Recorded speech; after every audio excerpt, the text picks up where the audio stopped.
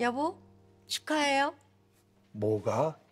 최명희가 재단 관리 그냥 당신이 하랬다며? 안 뺏어간다며? 아유, 아 원래 내 밥그릇이었던 거 돌려받는 게 그렇게 좋냐? 말이 그렇지. 그것까지 뺏겼어 봐. 나는 못 살아. 준혁이 재단 갈 뻔한 것도 지훈이가 막았고 한시름 났어. 지훈이가? 몰랐어요? 지훈이가 한 회장 설득했다잖아. 준혁이 형 보내지 마요. 음, 먹어요, 먹어. 모처럼 숨통 튀었으니까 마음껏 먹자고. 자, 그래도 마누라가 제일이다. 그렇지? 아유, 그래도 그렇지. 아, 내가 양이사인데, 아, 뭘 보약을 두 박스나 지어왔냐? 뭐? 아, 냉장고에, 어? 그걸 먹어 내가 그런가? 내가 쓰러지지 않고 지금까지 버티고 있다. 미쳤어, 미쳤어, 미쳤어. 아, 뭐가? 아, 그거 준혁이 장모가 지어온 거란 말이야. 애들 먹으라고. 아이고, 애들 거였어? 에휴, 그럼 그렇지. 아이, 그래도 보약인데 이거 따라놓은 거 아깝잖아. 먹어야지.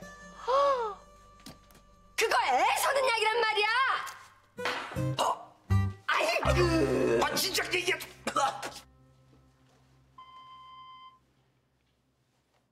준혁 씨, 얘기 좀 해.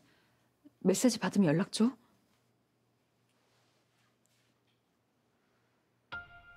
너 차은동 잘못 건드렸어. 네가 강태인 호텔 방에 들어가는 영상 그거 보낸 게 누군 줄 알아? 차은동이야.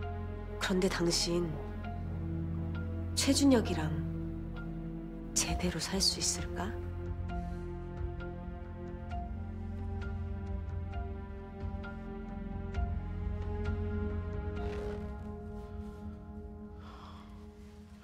처제, 회사 잘렸다며.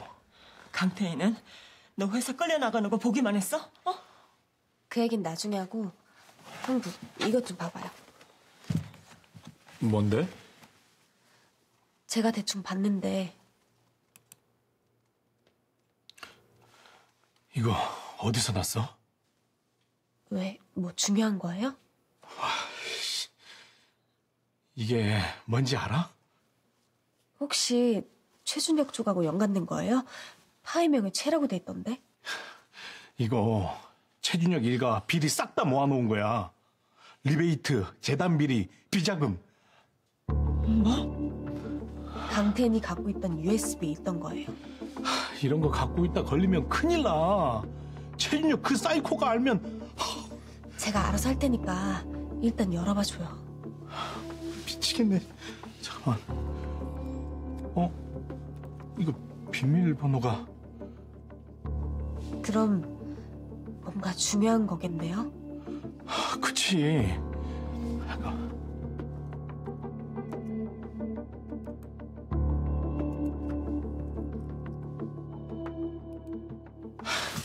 우리 그냥 이거 삭제하자.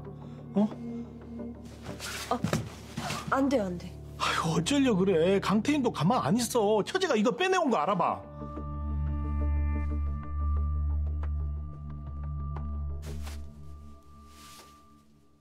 누가 와요?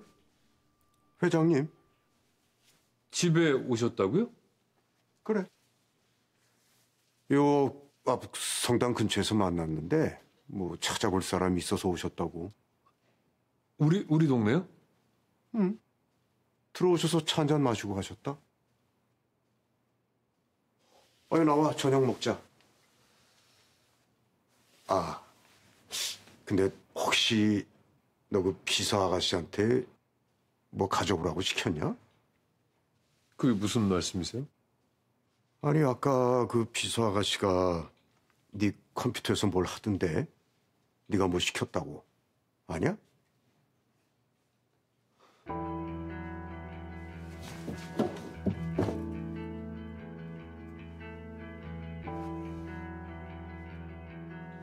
왜? 아 아니에요. 금방 나갈게요. 혹시 그 비서란 아가씨가 너 모르게 아니에요. 제가 시킨 일이에요.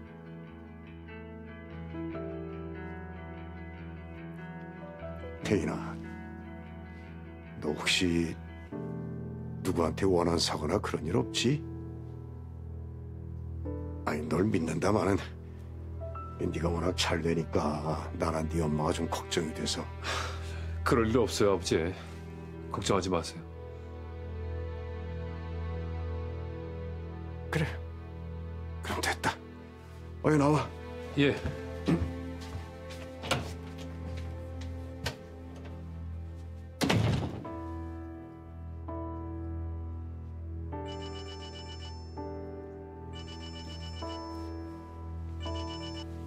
어, 청아.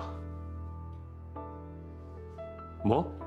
아니 예전에 같이 일하던 사무장한테 전화가 왔는데 아무래도 차은동 씨가 위험한 짓 하는 것 같다고 걱정을 해서 너 무슨 일 있는 거 아니지?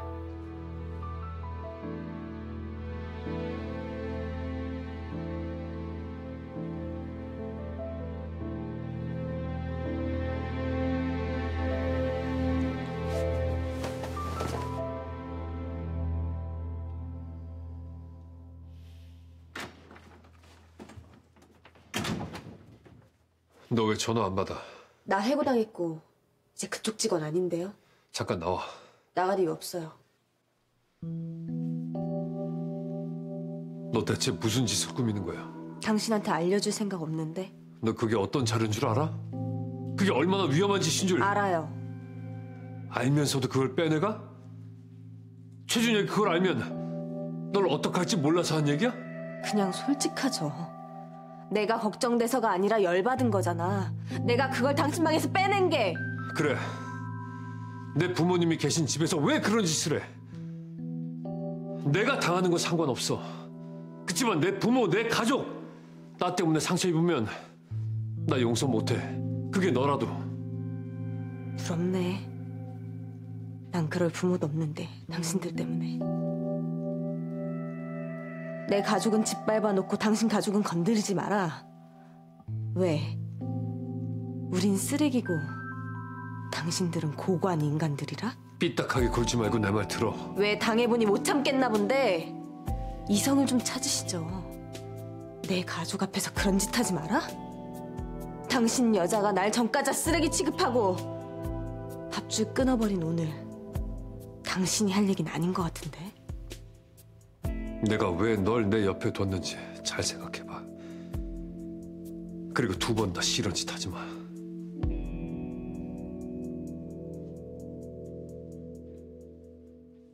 뭐? 형수가 유포한 것 같다고? 아니라곤 하는데 아니면 왜 테니스 방까지 와서 그랬겠어? 아니 그럼 지난번에 아버지한테 차비서에 대해 얘기한 것도 아니 근데 왜 형수가 차비서한테? 일이 있긴 했는데 아무래도 둘이 예전부터 아는 사이 같아. 두 사람 아는 사이라고?